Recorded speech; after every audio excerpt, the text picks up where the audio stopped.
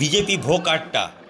সব রাজ্যে ভরাডুবি ঝাড়খণ্ড নির্বাচনে হেরেছে, মহারাষ্ট্র নির্বাচনে হেরেছে, দিল্লিতে নির্বাচনে হেরেছে। একেবারে ধপাস দুম। এ ভাষাতেই আক্রমণাত্মক ভূমিকায়। লক্ষ্য করা গেল বাঁকুড়ার সতীঘাটের দলীয় কর্মী সম্মেলনে তৃণমূল নেত্রী মমতা বন্দ্যোপাধ্যায়কে। এদিনের কর্মী সভায় হাজার হাজার তৃণমূল কর্মীর উপচে পড়া ভিড় দেখে আপ্লিত তৃণমূল নেতৃত্ব। কর্মী সম্মেলনের বক্তব্যের সামনের পৌর এবং বিধানসভা নির্বাচনে যেমন পাখির চোখ করলেন নেত্রী, তেমনি দলের অন্তঃকলহকেও মেটানোর চেষ্টা ঝরে পড়ল নেত্রীর গলায়। এদিনে যেমন কেন্দ্রীয় সরকারও বিজেপিকে দুষলেন, একদিকে সিপিএমকেও আক্রমণ করতে ছাড়লেন না নেত্রী। তৃণমূল নেত্রীর আগাগোড়ায় বক্তব্য কিন্তু এনআরসি, এনটিআর ও সিএ এর বিরুদ্ধে আক্রমণাত্মক ছিল। দিল্লিতে আমাদের বন্ধু অরবিন্দকে ফোন করে বললাম বাংলার মানুষের পক্ষ থেকে তোমাকে অনেক অনেক অভিনন্দন জানালাম।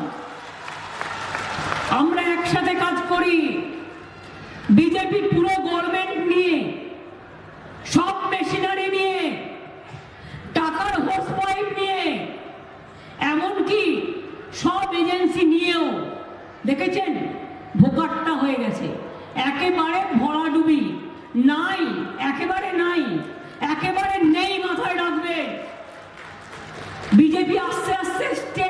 হয়ে যাচ্ছে। কোন স্টেট আছে আর?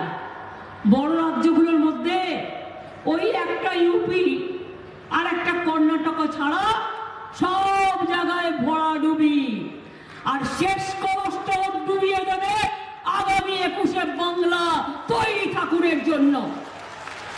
এদিনের কর্মী সভা সেরে মুখ্যমন্ত্রী বাঁকুড়া সার্কিট হাউসে যান।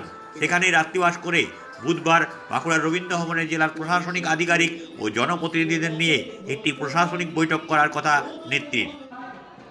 প্রশাসনিক বৈঠক সেরে তার দুর্গাপুরে যাওয়ার কথা।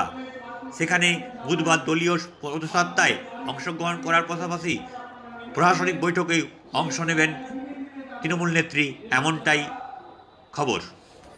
আমাদের